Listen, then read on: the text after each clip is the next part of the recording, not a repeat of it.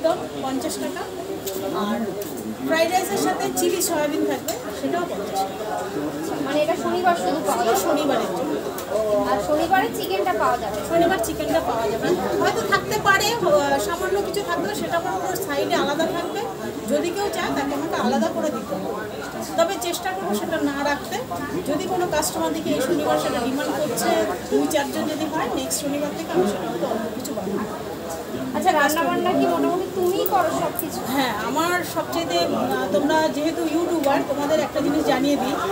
আমার কিন্তু এটাই ব্যবসা না। আমার বাড়িতেও একটা দোকান আছে, আমার চায়ের দোকান সেটা। দোকানের নাম চুস্কি। সেখানে চায়ের দোকান সকালে সাড়ে নটায় আমি দোকান খুলি।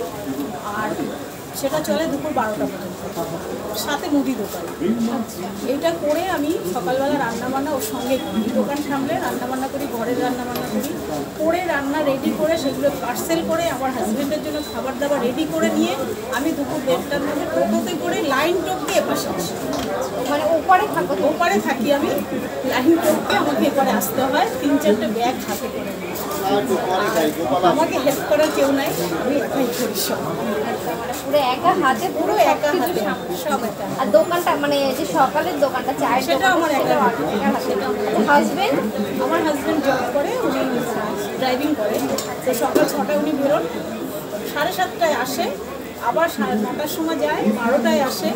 বারোটায় এসে আবার তিনটায় যায় কিন্তু এই সময়টুকু সে রেস্ট রেস্ট নেয়। সকালবেলা হয়তো বাড়িতে দেখা যায় আমার ঘরটা পরিষ্কার করে দেয় রাস্তা টাস্তা ঘরটাগুলো ঝাঁটটা দিয়ে দেয় আমার জামা কাপড় রাখতে যেটা নিবে সেটা কেচে দেয় আমার আচ্ছা দিদি একটা কথা বলো।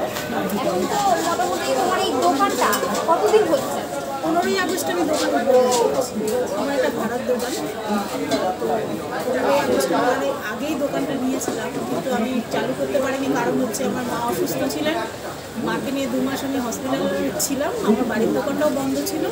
তো মা এখন সুস্থ থাকার পরে মাই বলল যে আগস্ট দোকানটা শুরু করব মায়ের